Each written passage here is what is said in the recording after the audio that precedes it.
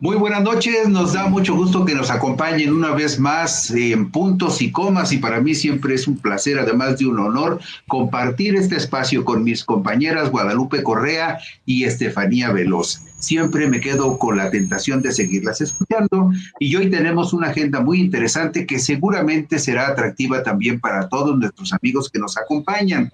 Y bueno, abusando de la generosidad de nuestra audiencia, vamos a pedirles que por favor inviten a sus amigos y conocidos a darse de alta como suscriptores de Sin embargo al aire porque vamos rápido, rápido rumbo al millón de suscriptores y a lo mejor a usted le toca en suerte ser el un millón aquí en esta plataforma de Sin embargo al aire a través de YouTube. Guadalupe, te veo muy contenta. Hola Pedro, ¿cómo estás? Un, un placer estar aquí con Estefanía, contigo para hablar de temas de coyuntura, para hablar de, diferentes temas. Es un placer estar aquí y con toda la audiencia de Sin embargo al aire. Bueno, pues hay un tema para empezar que seguramente tienes muchísimas ganas de clavarle el diente. ¿Qué es lo que prevalece en la percepción de la gente? ¿La verdad histórica o el crimen de Estado de la más reciente investigación que llevó a cabo el gobierno de la República sobre el caso de los 43 desaparecidos en Ayotzinapa. A mí me gustaría escuchar de entrada lo que tenga que compartir con todos nosotros Guadalupe Correa. Muchas gracias, Pedro. Es un tema tan complicado, es un tema que me sigue causando, pues, que, que, sigo teniendo muchas dudas, que sigue causando mucho de qué hablar. Eh, todas las respuestas eh, no, están, no están presentes, ¿no? Hay todavía muchas preguntas. Eh, desafortunadamente, eh, en estos últimos días hemos visto a partir de las conclusiones por parte de la comisión, pues hemos visto desafortunadamente pues una serie de de apoyos a lo que dicen que, la, que fue la verdad histórica, que realmente supuestamente la conclusión de la comisión corresponde a esta gran mentira histórica, a este gran montaje donde pues crímenes de de gobierno, del gobierno de Enrique Peña Nieto, también en este sentido, pues bajo la cuestión internacional y la, las conclusiones, ¿no? a partir de, de la investigación del grupo interdisciplinario de expertos independientes se cataloga como un crimen de Estado, aunque en realidad tendríamos que ver qué significa eh, para, el, para el contexto internacional, para lo que significa el Estado mexicano, el catalogarlo de esta forma, ¿no? Y el no poner, eh, del poner algunos nombres y apellidos, no poner eh, los nombres de todos, pero vimos que, que la mezquindad de un grupo que, y obviamente la defensa de uno de los que fueron eh, pues los voceros de esta mentira histórica que fue eh, apoyada por muchos otros actores, avalada por el presidente de la República en esta ocasión. Y bueno, las complicidades a los más altos niveles de gobierno, el secretario de la Defensa Nacional, el general Cienfuegos, el secretario de Gobernación y toda una serie de autoridades a nivel estatal y a nivel local que participaron.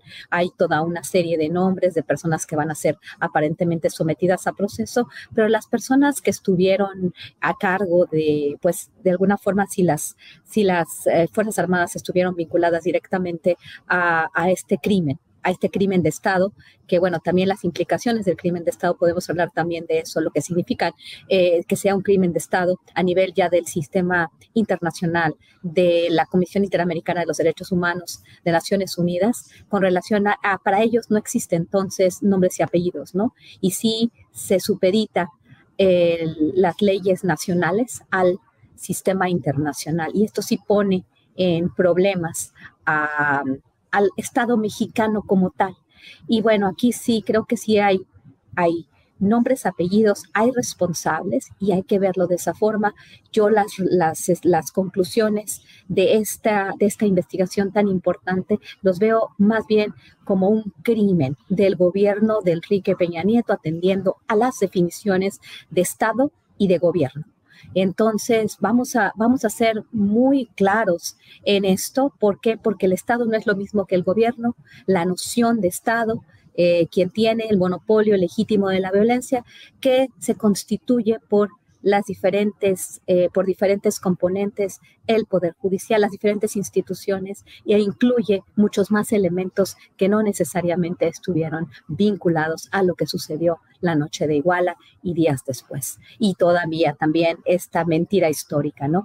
Desafortunadamente, como digo, esto se ha politizado y cómo es posible insistir eh, a partir de una investigación muy clara, insistir en que no se hizo nada, en que no hay nada claro. Obviamente se tiene que avanzar más. Creo que también se puede politizar del otro lado y bueno, todo esto puede poner en gran peligro al gobierno de la cuarta transformación, porque de cualquier forma se prometió una, una verdad y es una verdad a medias. Se nos dijeron muchas cosas, pero además nos quedamos, la sociedad en general, nos quedamos no contentos con este resultado. ¿Por qué? Porque queremos ver a los responsables que paguen por lo que hicieron, que declaren dónde está el expresidente de la República, dónde está el exsecretario de la Defensa Nacional, dónde está el exsecretario de Gobernación, dónde están los hombres que eran los responsables y que debieron haber sabido todo esto que nos están dando a conocer.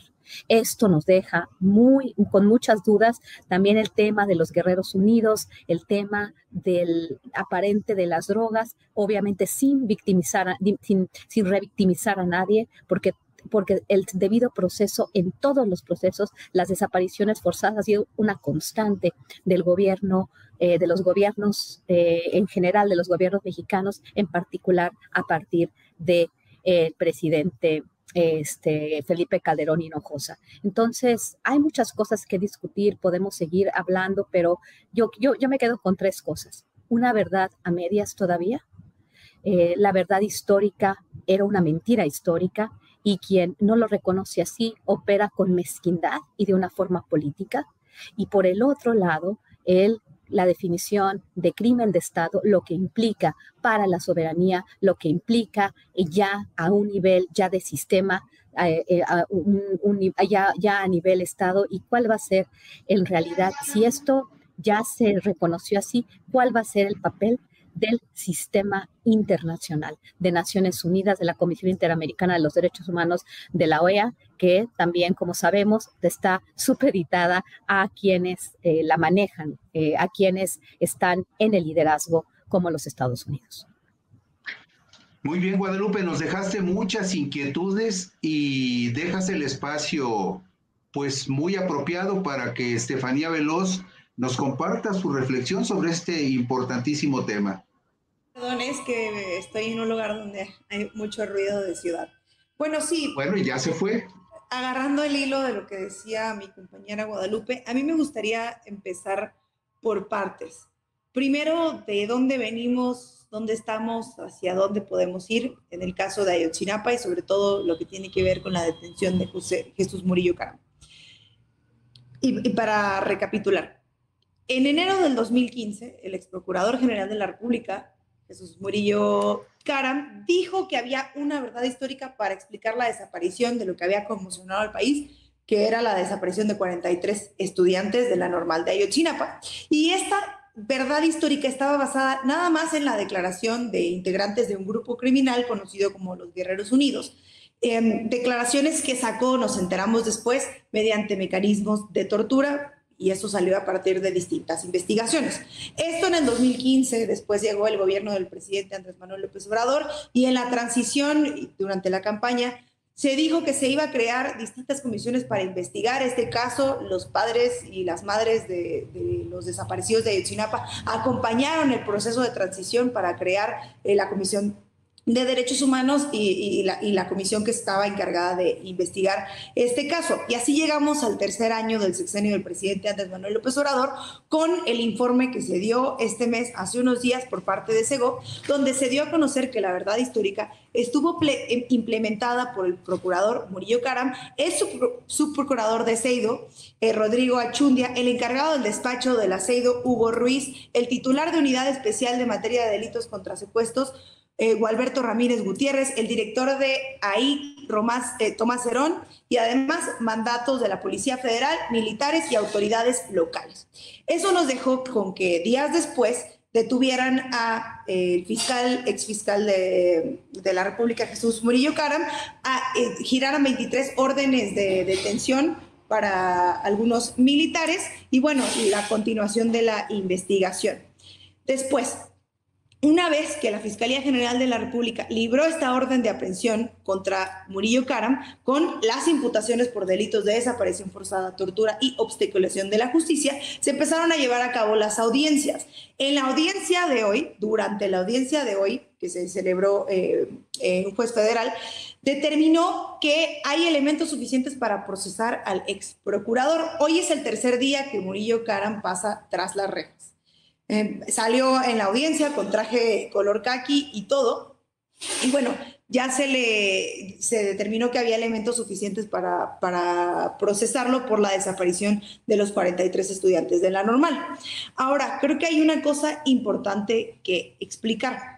Dentro de los delitos que se le imputan está la desaparición forzada, la tortura y la eh, obstrucción de la justicia. El que más ha servido es la desaparición forzada porque eh, no sé si la gente que nos está viendo sepa, es un delito, entre comillas, más o menos nuevo, que se ha ido discutiendo a partir de, la, de, esta transformación que hemos tenido respecto a los derechos humanos en el sistema judicial, muchas recomendaciones internacionales, instituciones internacionales eh, que han recomendado tener en nuestro sistema eh, jurídico el, el, el crimen de desaparición forzada. Y para que un caso tenga características de desaparición forzada o, se pueda considerar desaparición forzada, tiene que también tener, y en este caso tenía que ver con el crimen eh, de Estado que dio a conocer Encinas, que ahorita voy con eso, pero no lo quiero mezclar porque lo quiero dejar al final porque me parece sumamente importante. Y antes de empezar este programa, hablábamos de que había que hablar de lo que implicaba eh, un crimen de Estado. Entonces, para que el caso de Ayotzinapa se considere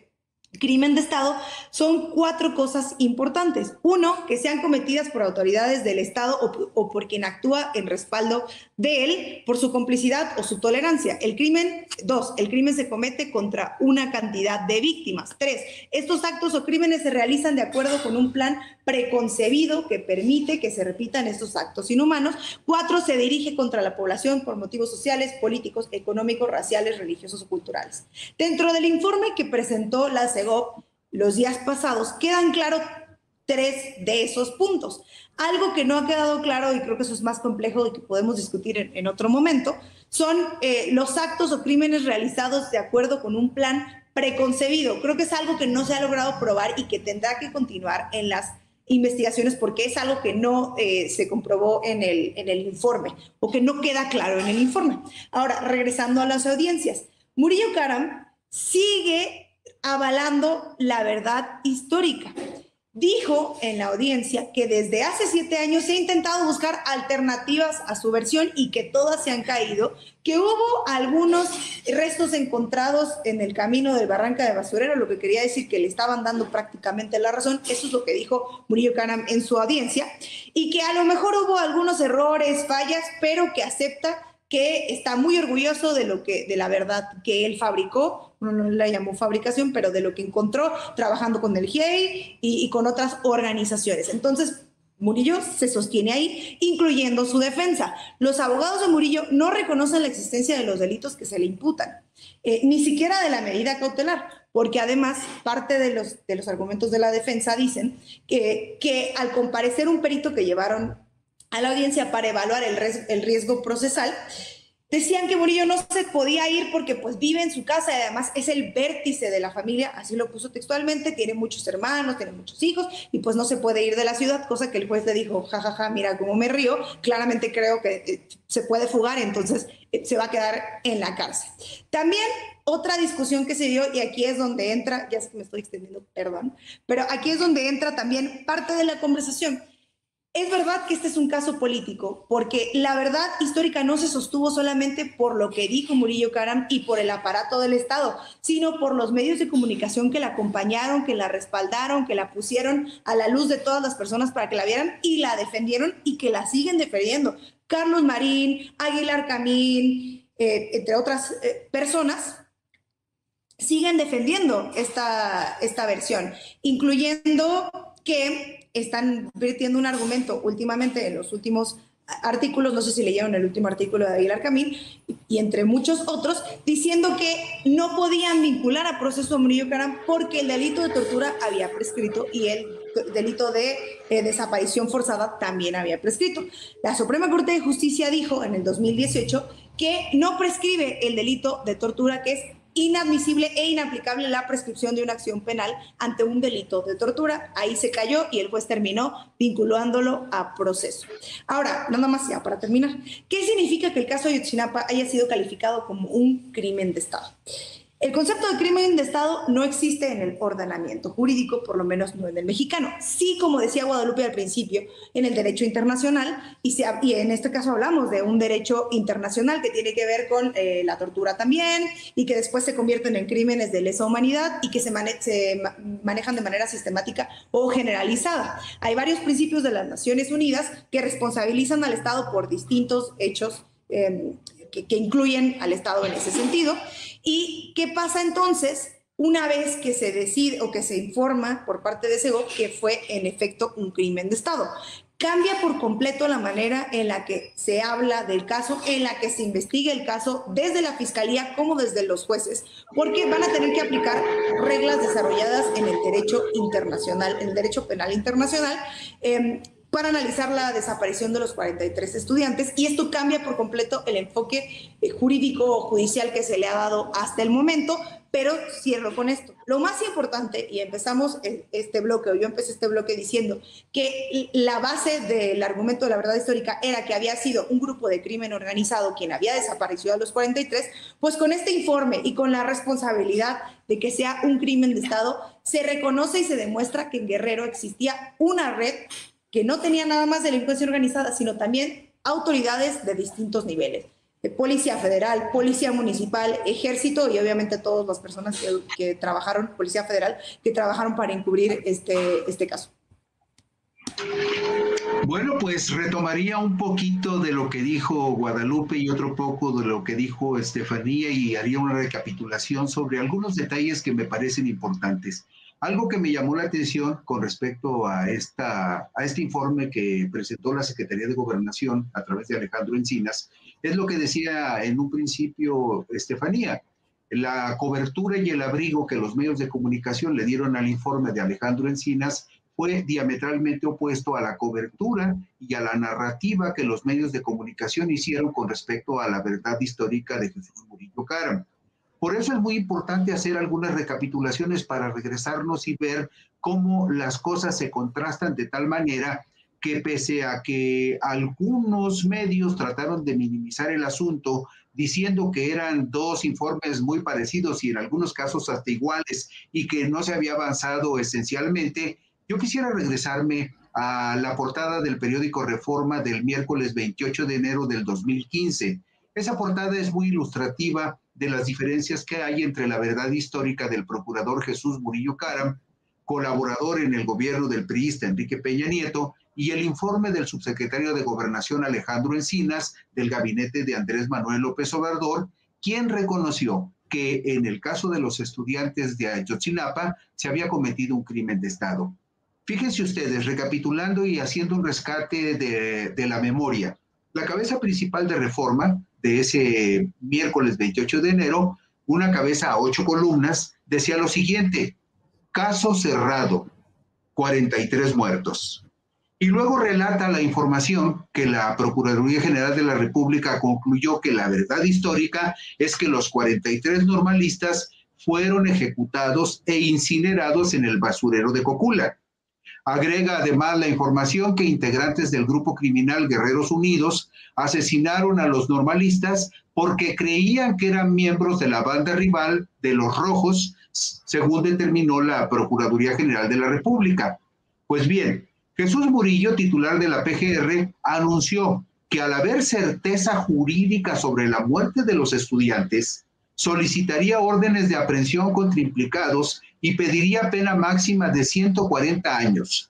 Citó como evidencia los contenidos de 487 peritajes, 386 declaraciones y 39 confesiones de implicados. Y dijo textualmente lo siguiente, muchos otros elementos aportados durante la investigación permitieron realizar un análisis lógico, causal, y llegaron sin lugar a dudas a concluir que los estudiantes normalistas fueron privados de la libertad, privados de la vida, incinerados y tirados al río San Juan.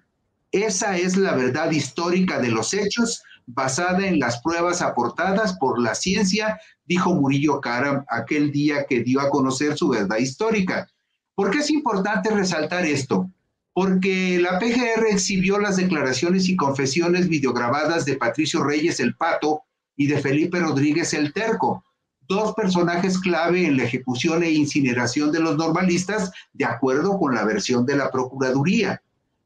Los presuntos miembros de Guerreros Unidos confesaron que dos de los estudiantes, Bernardo Flores, el Cochiloco, y Miguel Ángel Hernández, el Patilludo, eran miembros de los Rojos. Pero fíjense ustedes muy bien, en esta versión histórica de la que doy los pormenores más importantes que se publicaron, no solamente en la portada de Reforma, en la portada de otros periódicos, no hay ni la más mínima idea que nos diga que si hubo o no hubo autoridades de cualquier nivel, municipal, estatal o federal, coludidos con estas bandas delictivas que presuntamente se enfrentaron y dieron como consecuencia la muerte de los 43 estudiantes hay un hecho tangible, o sea, en, la verdad histórica dicen, vamos a hacer tantas o cuantas detenciones porque hay presuntos implicados.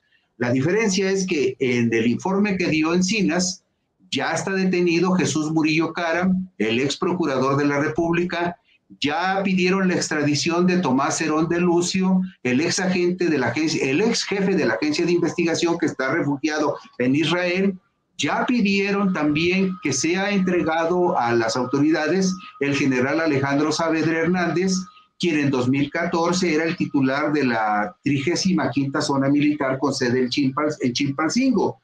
También se menciona, por ejemplo, que podría estar involucrado el actual secretario de Seguridad de la Ciudad de México, Omar García Harfuch, y por supuesto también se menciona que el exgobernador Ángel Aguirre podía haber estado involucrado al haber participado en la reunión donde se presume que se diseñó la estrategia para la verdad histórica. Entonces, hay elementos que definitivamente llevan este asunto por un camino diferente. Cuando se da a conocer la verdad histórica, no había ninguna razón para inferir que alguna autoridad pudiera estar involucrada. En este momento ya hay por lo menos tres o cuatro personajes muy importantes que tendrán que declarar y que podrían involucrar a otros personajes más importantes, como podría ser el presidente de la República de entonces o el secretario de la Defensa. No sé si alguna de mis compañeras quiere hacer alguna acotación o algún comentario antes de pasar a, antes de ir a un corte para regresar con el segundo tema. Guadalupe. Pues no, bueno, creo que, creo que esto va a dar para mucho. Yo creo que los comentarios que se hicieron por, por, ustedes dos este, nos dan mucho que pensar. Y bueno, este, yo creo que en el tema de los periodistas, si podemos llegar a él, me gustaría retomar este tema para, hablar de las cuestiones de Estado y de gobierno, que me parecen fundamentales, en particular las definiciones, pero creo que está bien, podemos, podemos continuar, podemos este, avanzar en dos temas que, que creo que son fundamentales y que han sucedido en los últimos días. Pedro, algo importante y es una pieza faltante que sale a relucir y creo que tiene que ver con Cienfuegos. Se nos había dicho en el pasado que no estaba involucrado, prácticamente se había lavado las manos su, aparición o su actuar en este hecho tan, tan lamentable. Y parece que este informe nos podría decir que todos los caminos también llevan a él. Y creo que hay algo ahí importante que vale la pena rascar y mencionar. Tú mencionabas algunas de, de las personas que podrían estar implicadas y creo que ahí también eh, falta este personaje y por el otro lado que detengan a alguien de la policía, que entonces eh, Policía Federal, que parece que tampoco es que haya tantas detenciones o no hay detenciones por quienes eran los responsables de la Policía Federal, sí del ejército con 23 em, funcionarios del ejército ahora, no sé si detenidos, pero que ya estaban con una orden de captura, principalmente Saavedra. Bueno, pues vamos a una pausa y regresaremos después con el segundo tema. Tienes una cita a la cual no puedes faltar. De 12 a 1. la mejor selección de lo más importante del día. De 12 a 1. Noticias, reportajes y entrevistas. De 12 a 1. Lo mejor de la conferencia del presidente. De 12 a 1. Acompáñanos de 12 a 1 de la tarde, de lunes a viernes, en un noticiero con la información más importante de lo que pasa en México y el mundo. Con el prestigio de los periodistas, café y noticias y todos los espacios informativos de Sin embargo al aire, llega ahora de 12 a 1. Con Perla Velázquez. Lunes a viernes.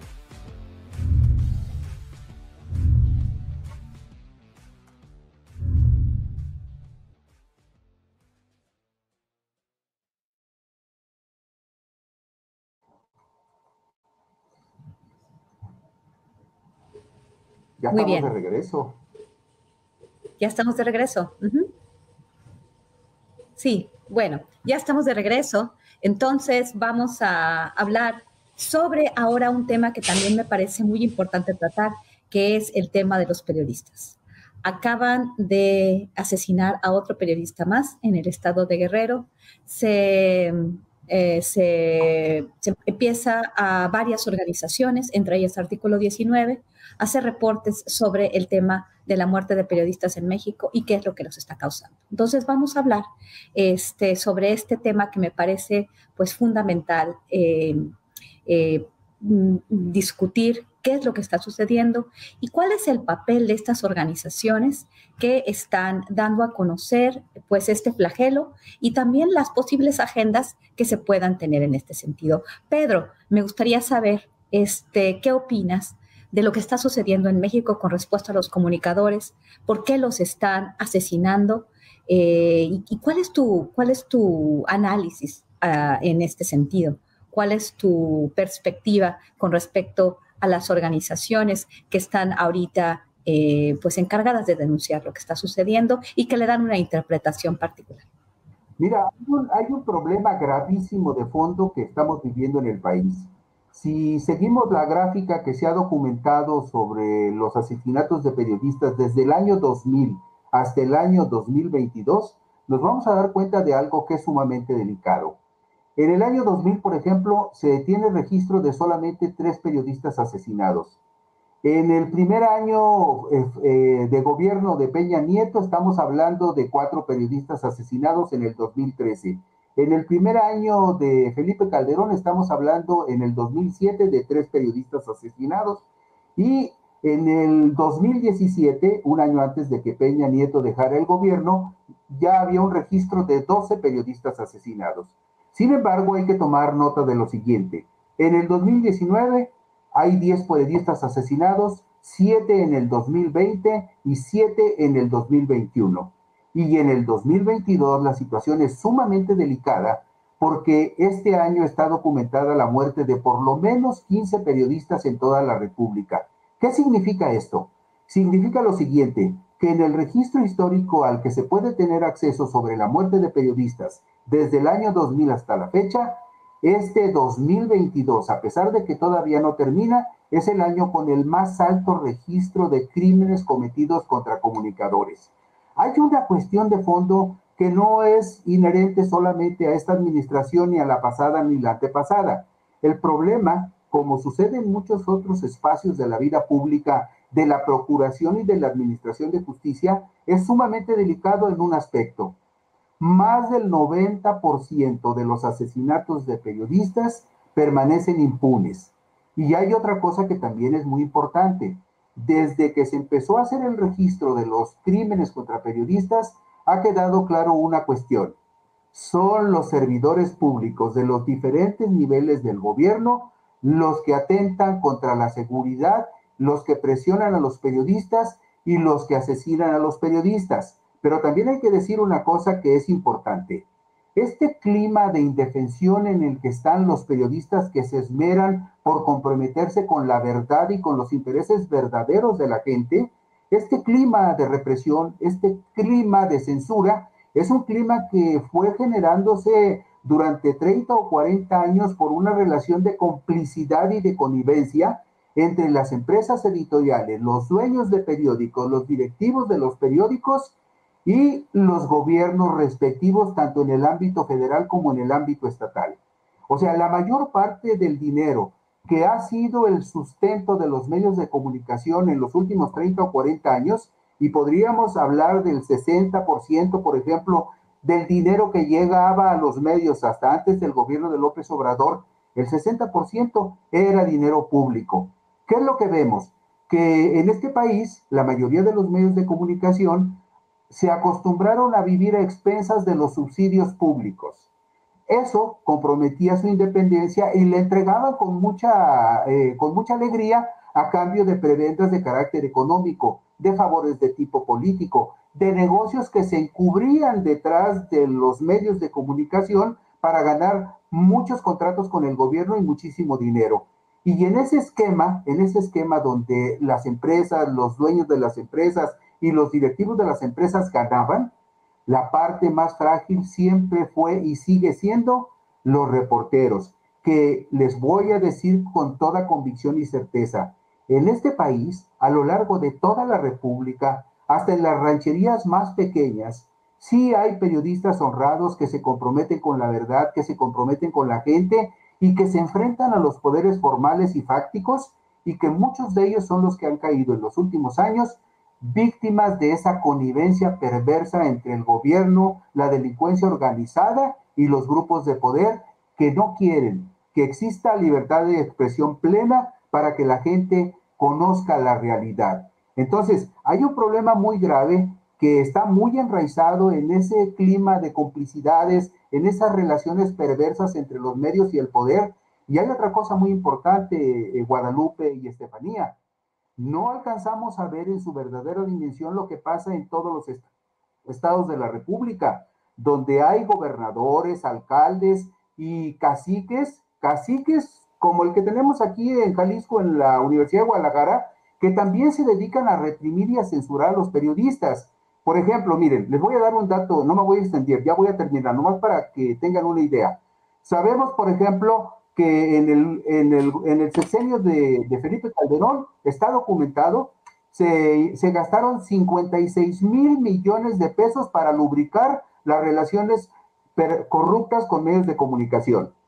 En el gobierno de Peña Nieto se gastaron 60 mil millones de pesos para lubricar esas relaciones corruptas. En el primer año de López Obrador Gastó en publicidad solamente 2 mil millones. En el segundo año otros 3 mil millones y por ahí anda en el tercer año. ¿Esto qué significa? Eh, hay razones para que muchos grupos de comunicación y para que muchos periodistas estén sumamente enojados. Sí, porque vivían de los presupuestos públicos. Y, y en todo ese esquema de corruptelas y de complicidades, la hebra más frágil y más débil son los periodistas de adeveras, los modestos reporteros que sí salen a la calle a buscar la noticia. Si, si vemos incluso los reportes de artículo 19, nos vamos a dar cuenta de una cosa.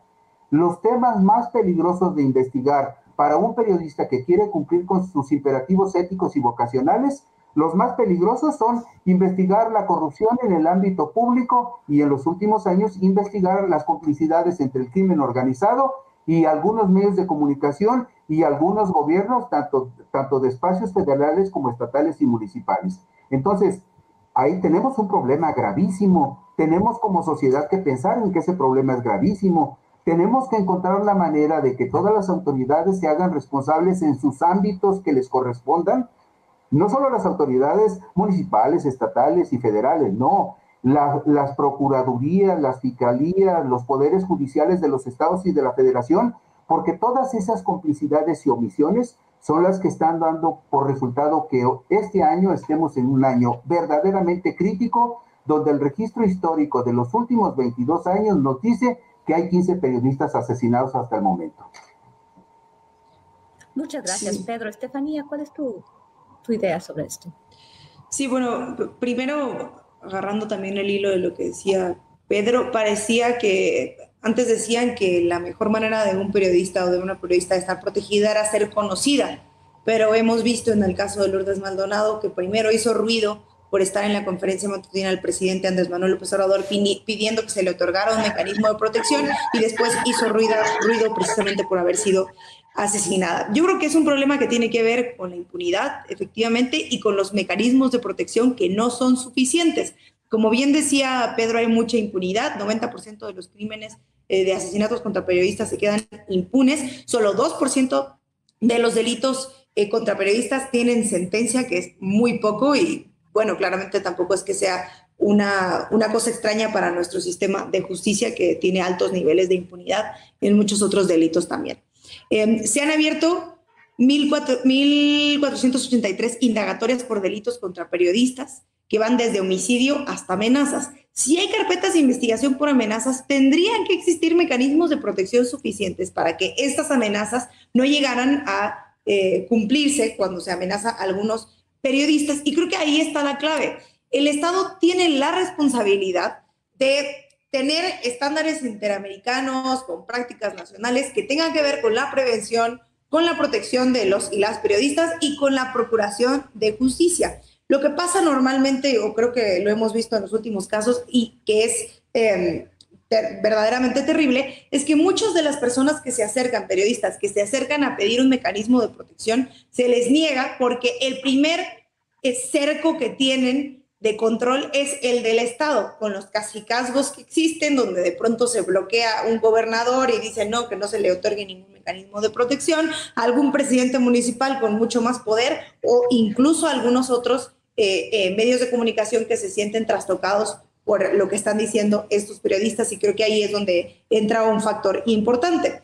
Ahora que hemos hablado de la tipificación de los delitos y que voy a poner el caso de Baja California específicamente, se tipificó el, delito de feminicidio agregándole que si participaba alguien que había sido funcionario público o que es funcionario público, tuviera una sentencia mucho más alta y que además se analizara desde ahí el delito. Y creo que en el caso de los, de los periodistas asesinados también, de los y las periodistas asesinadas, también tendría que ser así. Tendría que ser llevado a, una tipificación específica para que el, asesinato de periodistas no se trate como cualquier otro asesinato, desde luego todos son terribles, pero que tenga, que tenga este análisis en las investigaciones de a quién le convenía asesinar a periodistas o callar a estas personas y creo que ese es un valor importante que hay que discutir más allá de, un tema social, porque lo es y porque todas las personas tenemos que sentirnos no solamente conmovidas, sino indignadas por este tema eh, necesitamos que esto se, traduzca en, alguna ley que sea clara y que pueda ser mucho más dura con quienes perpetúan estos crímenes contra periodistas y creo que solo así si podemos caminar hacia una tipificación que sea mucho más eh, clara y que le haga justicia a los asesinatos que se han acumulado, no solo en este eh, sexenio como se mencionan en algunas notas, sino a lo largo de los años desde que empezaron a aumentar, como bien decía Pedro, estos terribles asesinatos. Creo que se me apagó el teléfono. Guadalupe Correa, ¿tienes algo que comentar al respecto? Sí, claro. Yo creo que lo que ustedes dicen es muy pertinente. Creo que el tema del asesinato a periodistas debe de investigarse, no debe caer en la impunidad. Aprecio mucho los comentarios de ambos, aprecio mucho el comentario de Pedro con relación al pasado y por qué está sucediendo este tipo de cuestiones. También eh, también tenemos que entender que no a todos los periodistas los asesinan las mismas autoridades o los asesinan los mismos grupos, ¿no? Es, es importantísimo que analicemos uno por uno de estos asesinatos. Creo que el reporte de artículo 19 es interesante porque va desmenuzando, porque va ah, dando, dando pues datos interesantes e importantes. Pero también quisiera yo darle otra perspectiva y hablar un poco de organizaciones como artículo 19 y otras organizaciones de la sociedad civil que han utilizado este tipo de temas cuando no tenemos información completa para también dar esta idea de que en México eh, no hay eh, estabilidad, están matando a los periodistas, están asesinando a los miembros de las iglesias, sin mucho contexto, sin mucha información. El 18 de agosto, como he mencionado en otros medios, el, periódico Reuters, la agencia de noticias Reuters, retoma este reportaje y dice que no es, cuando lees el, el reporte, él habla de que la mayor parte tuvo que ver con autoridades gubernamentales. Y aquí es donde hay que tener mucho cuidado antes de hacer cualquier eh, pronunciamiento. Y, y, en este sentido, creo que lo que dice Pedro con respecto al señor cacique de, este, de la Universidad de Autónoma de Guadalajara, en, en, la Universidad de, de, Educación Superior en la ciudad de Guadalajara, es importante, ¿no? Porque, porque se ha utilizado también como instrumento político por parte de la oposición y también por parte de otras organizaciones internacionales y que y por otros países. Y sabemos por ejemplo también que artículo 19 ha sido una organización no gubernamental que ha estado financiado por grandes fundaciones y por gobiernos por dinero de gobiernos de otros países donde puede también haber una agenda que va más allá de lo político y de la protección a derechos humanos. Este es un tema muy complicado. ¿Por qué? Porque eh, existe eh, artículo 19 y ha hecho una buena labor con muchos periodistas, pero también ha sido selectiva en los casos que ha, este, que ha, que ha seleccionado y cómo ha sido utilizado el lema de nos están matando. ¿Por qué están matando a los periodistas y quién los está matando? ¿Qué protecciones hacen este, qué protecciones son necesarias, dada la labor del periodista. A todos los periodistas los están matando las organizaciones, este, las autoridades gubernamentales a nivel federal, a nivel estatal, a nivel local, o también hay alguna colusión de algunos con alguna autoridad corrupta y no es por los trabajos eh, que han realizado, sin otra vez victimizar a nadie ni hacerlo esto como una cuestión general, pero habría que analizar caso por caso. Muchas veces estas organizaciones de la sociedad civil se han utilizado también para desestabilizar. Y el tema de Reuters que toma eh, este reporte y dice, la mayor parte de los asesinatos, según artículo 19, es porque están vinculados al Estado. De nuevo, no están distinguiendo el Estado del gobierno, que el gobierno son aquellos eh, individuos, aquellas personas que operan las labores del, eh, que operan eh, las labores del Estado, que operacionalizan estas labores. Entonces, en este sentido, volvemos a lo mismo, a decir que el Estado mexicano tiene un problema fundamental donde, sus donde las personas son asesinadas por el Estado. Es una interpretación de una agencia tan importante como Reuters que no tomó las palabras de artículo 19, tomó el tema de fue el Estado eso lo hizo Reuters, no lo hizo el reporte de artículo 19, pero se está utilizando, como también se utilizó por estas ONGs algunas con financiamiento similar, eh, al hablar de los asesinatos a miembros de las iglesias. Hay que tener mucho cuidado y definir términos muy claramente, porque de nuevo, estamos supeditando las leyes y y la soberanía, se rompen las soberanías y se criminaliza al Estado mexicano como tal, en un momento donde la geopolítica juega un papel fundamental y este, tenemos que ver, hay nombres, apellidos, hay casos, se debe hacer justicia, se deben mejorar las instituciones, se debe eh, proteger a los periodistas, mejorar los mecanismos de protección y bueno, y evitar que esto se siga politizando y que las víctimas, en lugar de víctimas, se les revictimice y sean simplemente instrumentos de, de, pues de políticos mezquinos que lo único que quieren es hacer ver que la situación en México no es, como dicen muchos, no nada más no ha mejorado, sino que está peor. Y esto no es necesariamente cierto, ¿no? Tenemos que ver qué pasa, en dónde pasa y cómo pasa. Sí, Pedro, querías decir alguna cosa. Sí, mira, lo que yo creo que debemos de observar y de analizar con mucho cuidado es lo siguiente. Este es un asunto que es producto del deterioro de las instituciones de administración y de procuración de justicia.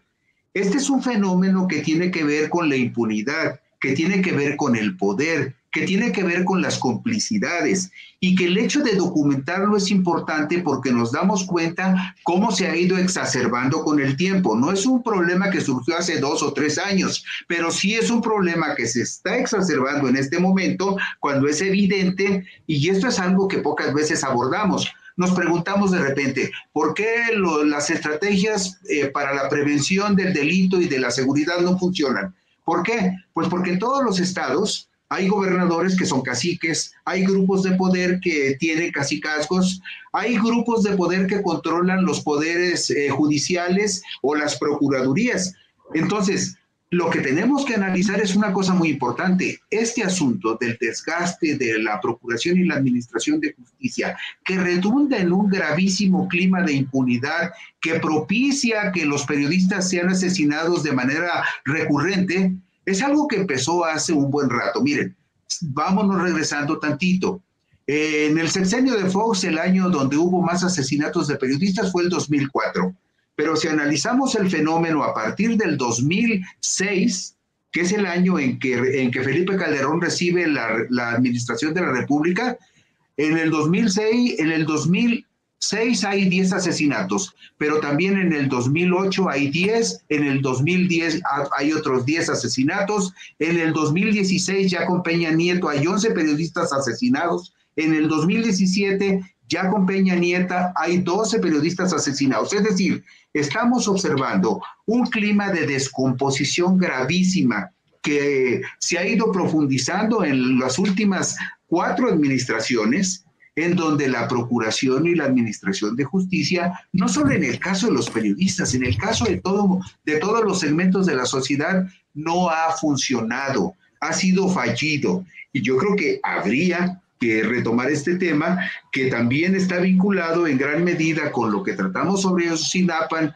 cuando para algunas instituciones de gobierno es muy fácil fabricar culpables, que tiene que ver también con la prisión preventiva en un país donde en la mayoría de los casos no se investigan los crímenes, sino que se fabrican culpables, y en, una, y en, un, y en un país donde habría que analizar con más cuidado y detenimiento en qué casos específicos de delitos tendría que considerarse la prisión preventiva y no medir con el mismo rasero esta figura jurídica que puede ser una herramienta importante en el ámbito de la procuración y la administración de justicia. Entonces, el problema que estamos viviendo en México es que en este clima que se ha dejado suelto, donde ha permeado la impunidad y las complicidades y la corrupción, pues es muy fácil matar periodistas. Exactamente es cierto y, tienes toda la razón. Vamos a tratar de hacer esto.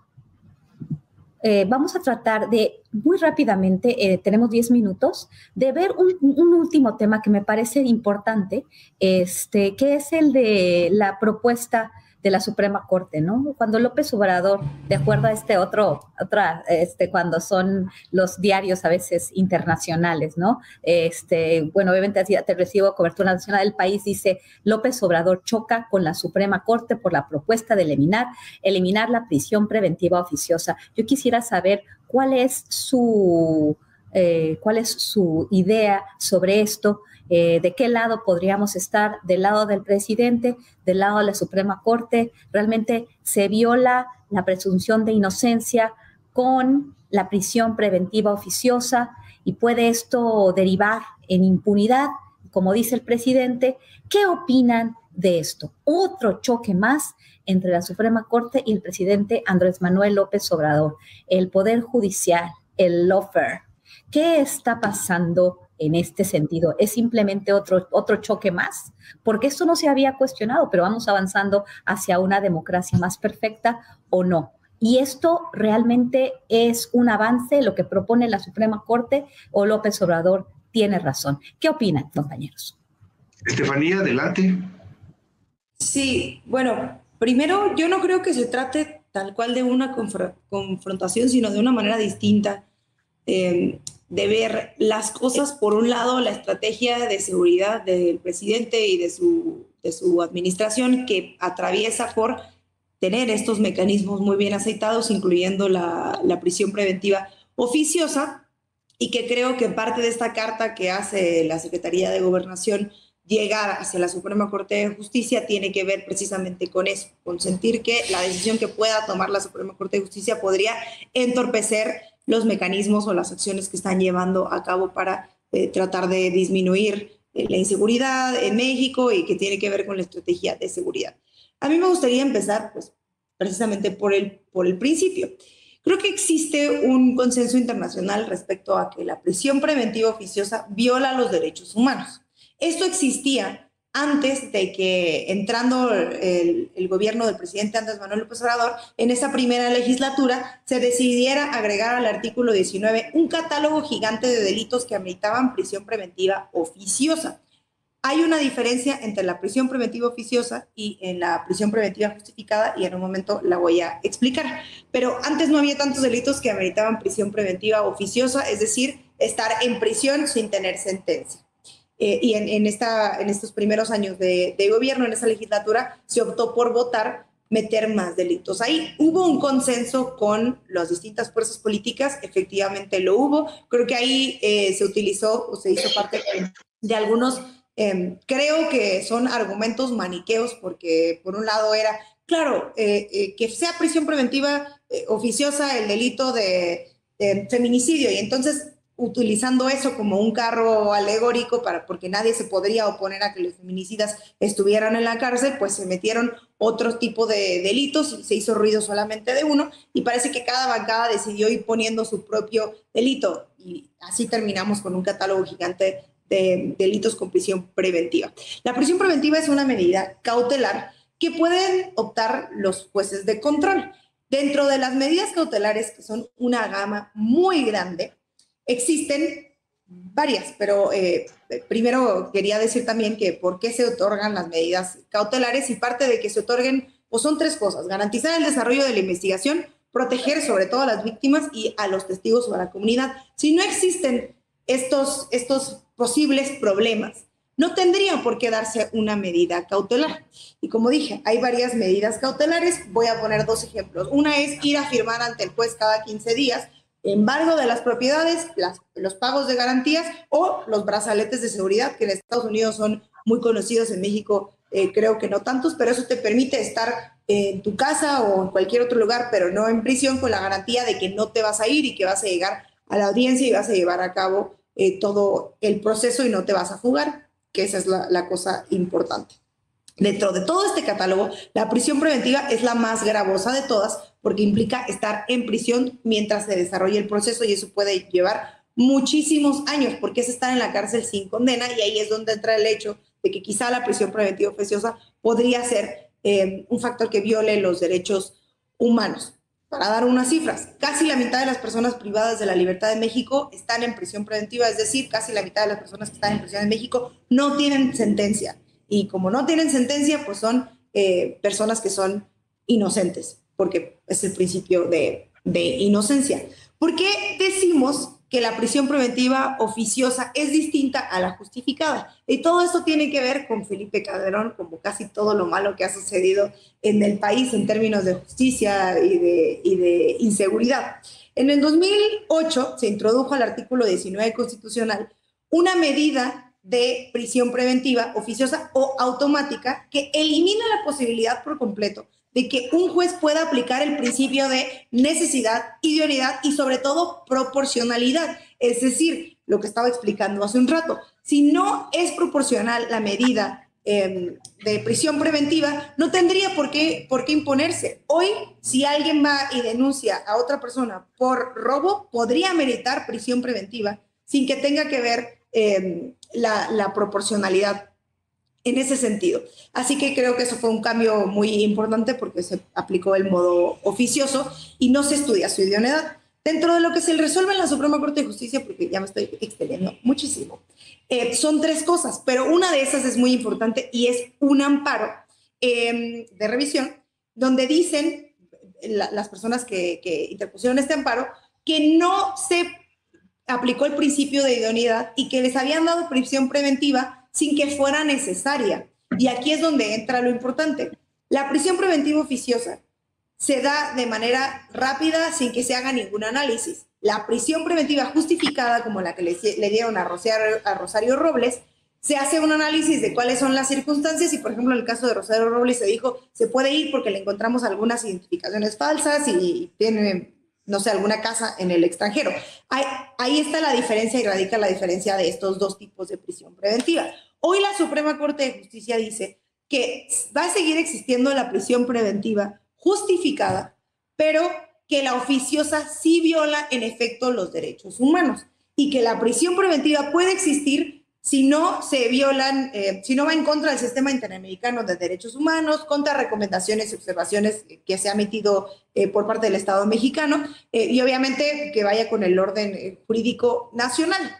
Todo esto porque cabe destacar que la Comisión Interamericana de Derechos Humanos va a discutir próximamente un caso de García Rodríguez y Reyes Alpizar versus México, donde se habla de la prisión preventiva, sobre la tortura y la responsabilidad que tiene el Estado. Una vez que la Comisión Interamericana diga, eh, evidentemente la prisión preventiva es violatoria de, derechos humanos, ante este caso, pues creo que marca un precedente importante donde la Suprema Corte de Justicia tendrá que tomar en cuenta incluso este, este argumento y no va a haber ningún margen de movimiento eh, en ese sentido. Lo que sí creo es que hay que utilizar eh, los argumentos válidos para poder explicar la diferencia entre este tipo de, prisión preventiva. Creo que se está tratando de, decir que la Corte lo que quiere es que salgan libres todos los criminales de cuello blanco, todos los corruptos, porque he visto que han puesto el caso de Rosario Robles. Bueno, pero Rosario Robles no estaría en la cárcel si no fuera por la prisión preventiva. Ok, no, hay una diferencia. Va a seguir existiendo la prisión eh, preventiva justificada, donde un juez tendrá que determinar si es necesario o no y eh, lo que se trata de, eliminar por parte de la Suprema Corte de Justicia, o digamos, va a estar dentro de, su proyecto, es que no se pueda otorgar eh, prisión preventiva a diestra y a siniestra, dejando a gente pobre, marginada y sobre todo mujeres, porque son la mayoría que están en prisión preventiva hoy, em, en la cárcel durante 10 años sin haber visto un juez y sin recibir una sentencia. Pues sí, ya no pues hablar más porque se acabó. Bueno, pues quedó, quedó espacio suficiente para que la próxima semana retomemos el asunto de la prisión preventiva. Creo que lo que planteabas tú hace un momento, Guadalupe Correa, tiene mucho sentido. Habría que analizar detalladamente en qué circunstancias se hicieron estas modificaciones constitucionales al artículo 19 y sí, sí va a haber un conflicto entre el Poder Judicial y el Poder Ejecutivo por el asunto de la prisión preventiva. Con eso me iría yo. Perfecto, Pedro. Disculpa, ya se acaba de acabar el tiempo.